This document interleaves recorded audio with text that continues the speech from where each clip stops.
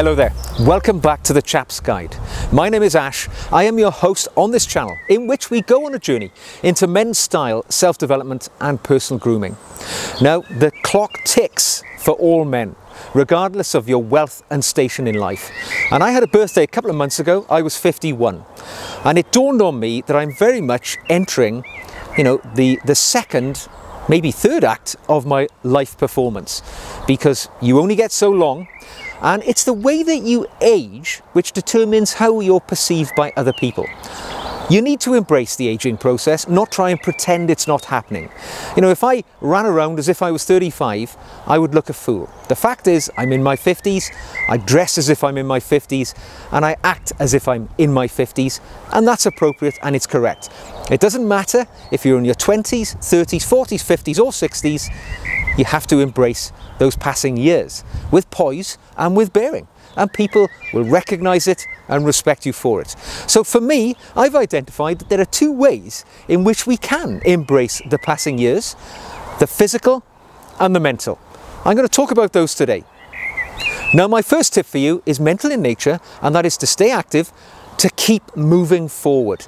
Because you know just because you've retired doesn't mean to say it is a license to sit on the sofa on your ass watching daytime television. Believe me you will soon lose the will to live. You'll put on weight. Life won't be worth living.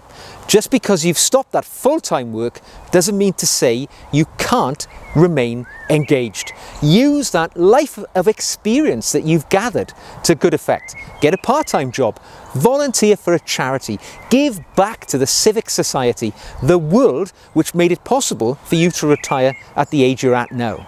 So never ever think that retirement means stopping.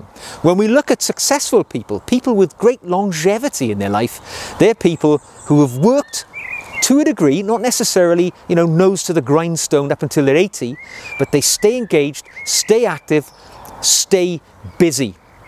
That's my advice. Now my tip number two is physical in nature, and that is quite simply win the skin. Because your skin will obviously be the first visible thing which shows signs of aging the wrinkles and everything else. Okay, as we age, it happens, it's natural, it's nothing to be afraid about, but we can delay it, we can turn the clock, clock back to a degree. What you need to do as soon as you can, start a regime of skin care. Moisturize twice a day, I moisturise after I've shaved and at night after I've had a shower.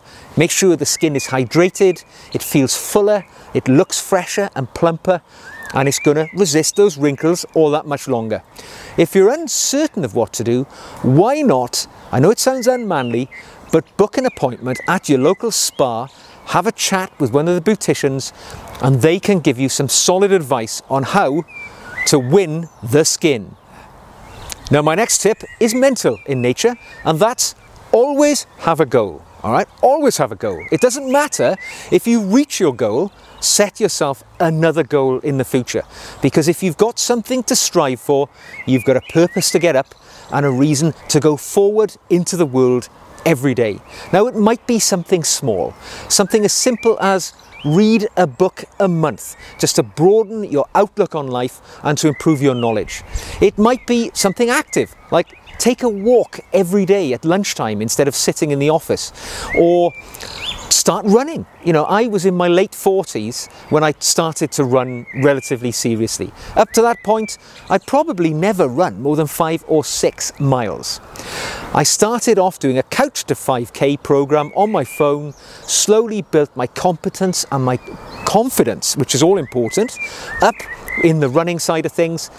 And just a few days after my 50th birthday, I ran my first half marathon in two hours. Uh, it was a goal I would never have thought which was achievable to me when I was 30, 35 or 40.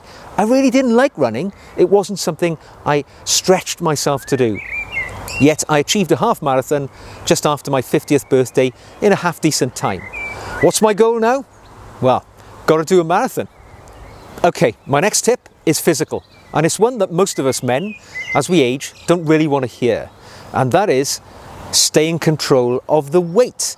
Because one of the things that happens in our aging process, the metabolism slows down, we tend to do less physical manual labour perhaps than we did in our 30s and 40s, and we continue to eat as we did in our 30s and 40s, and the weight will start to pack on. Uh, and as we go older, you know, it's not a good idea to carry excessive weight because it can cause diabetes and other complications to life, which actually can shorten our lives and more importantly perhaps make the, the span of lives that we have less healthy, less enjoyable. My advice, do not live in denial.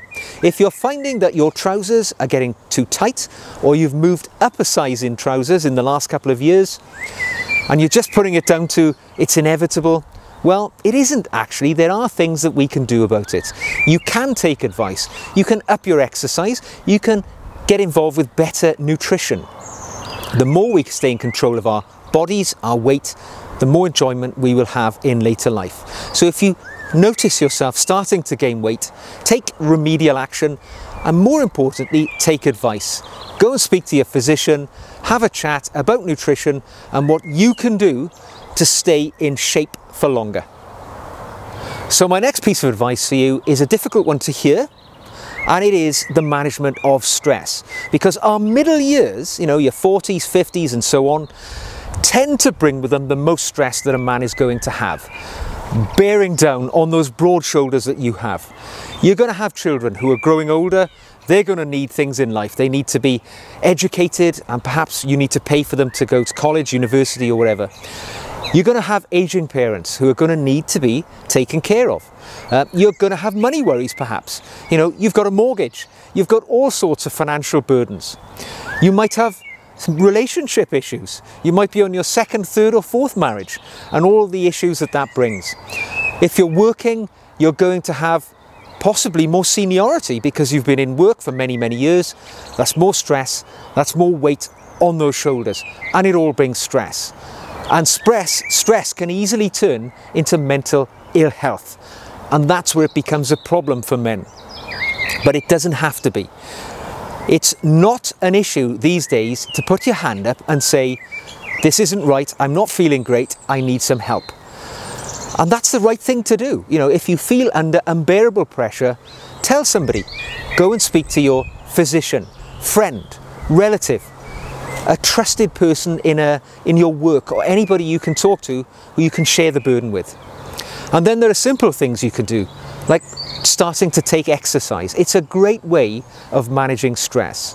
Uh, taking up hobbies, you know, doing all of the things which get you away from the problems that you feel when you're in your ordinary life. Lots of things can be done, but it is perfectly okay to say you're not okay. And that's where recovery starts. Don't live in denial.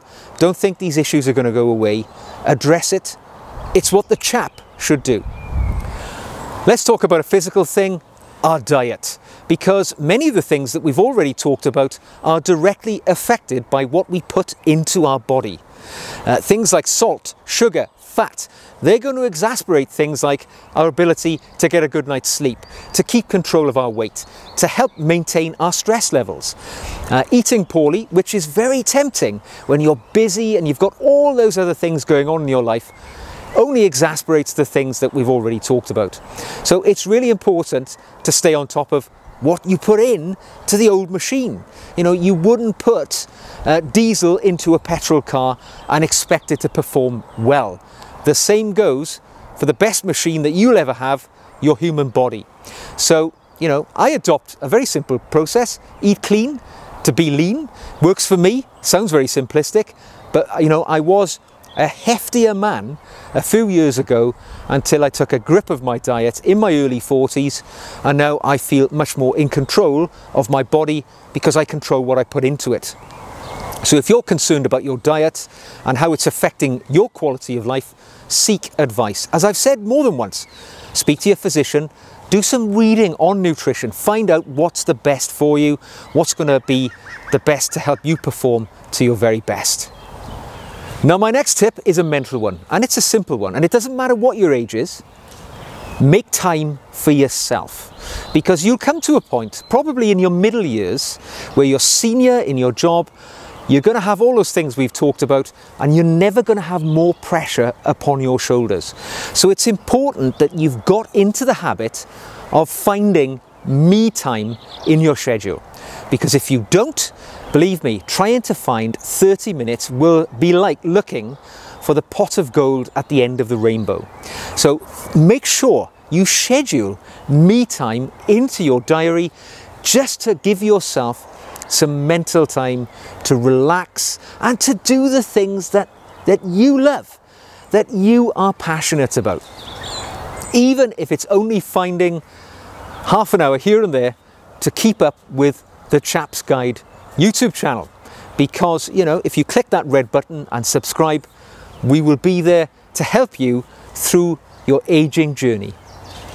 Okay, so my next tip is a physical one. And it's kind of a retrospective one now because I can't do anything about it right now. But as I was on my journey through life, I wish I'd applied this. And that is abuse your body at your peril.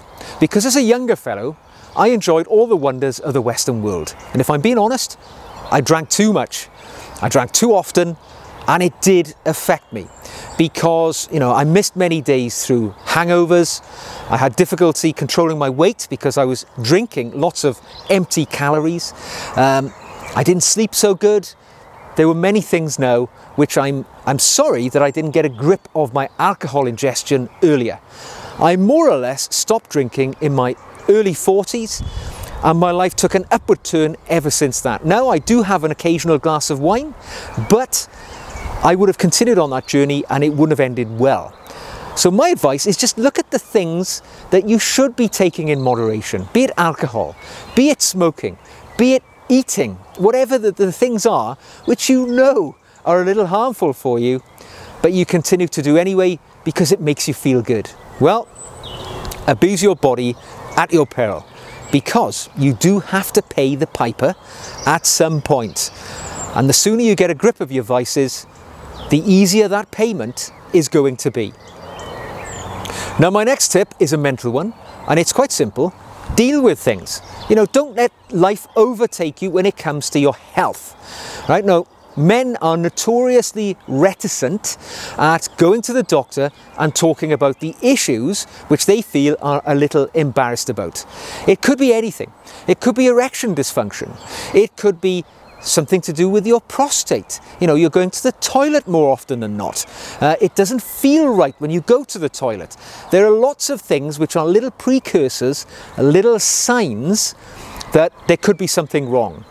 And if you just forget about it, you leave it, you hope it's going to go away, well, when you do come to pay that piper on the health front, it may be too late or it may be more difficult than it would have been to deal with. So don't just push it to the back of your mind and expect that it's going to go away. Yes, broaching the issue may be a little bit embarrassing.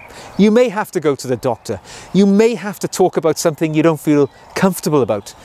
You may have to have a finger inserted in your rectum to check that your prostate is normal. But the alternative could be early death. So let's put embarrassment to one side for a long and happy life. And finally, this is a men's lifestyle channel, and I have to say it, it's a physical thing, my last advice, and that is dress your age, all right? Because if you're 50 and you're still dressing like you're 25, you're wearing a tracksuit, you're wearing running shoes because it's comfortable. Yes, it is. Nobody's denying that. But you're 50 for God's sake, man. Dress like you're 50. You're going to look better. You're going to have more confidence. Your peers are going to look at you and think that's a well put together guy. And all you have to do is put on a sports jacket. You know, I'm wearing just a, a simple tweed jacket today with a white shirt, a cravat, a pair of chinos, nice pair of shoes. It's equally as comfortable as that athleisure wear that you probably slouch around the house in, but you can go out anywhere, you can look sharp, and it'll make things change for you. Weaponize the way that you look to improve your life. You know, professionally, you will be looked upon as somebody who is, you know, trustworthy, who is able to carry things off as an ambassador for your organization because you look sharp and presentable. Uh, you know, many things will doors will fly open for you if you dress with style and poise and bearing. So take those athletic wear to one side and dress your age. You'll feel better for it, people will treat you better for it, and your life will unfold in front of you as a better place. Now, even if you're a larger man and you think that dressing with style and confidence is beyond you, that's absolutely not the case. I'm going to refer you now to a YouTube channel run by a friend of mine called the Big Pretty channel, and that's run by Tim Crow. He is a lifestyle guru for the larger man. Um, and you know, he's got some great advice, some great tips, and some great things that can help you out if you want to live your life large and in charge. You'll find the link to that in the show notes below. Well, I hope you've enjoyed this discussion on aging well with style. Uh, if you have, Thumbs up, hit the red button, join us on our future journeys into men's style. Until we meet again, take care, look stylish, and I'll see you very soon.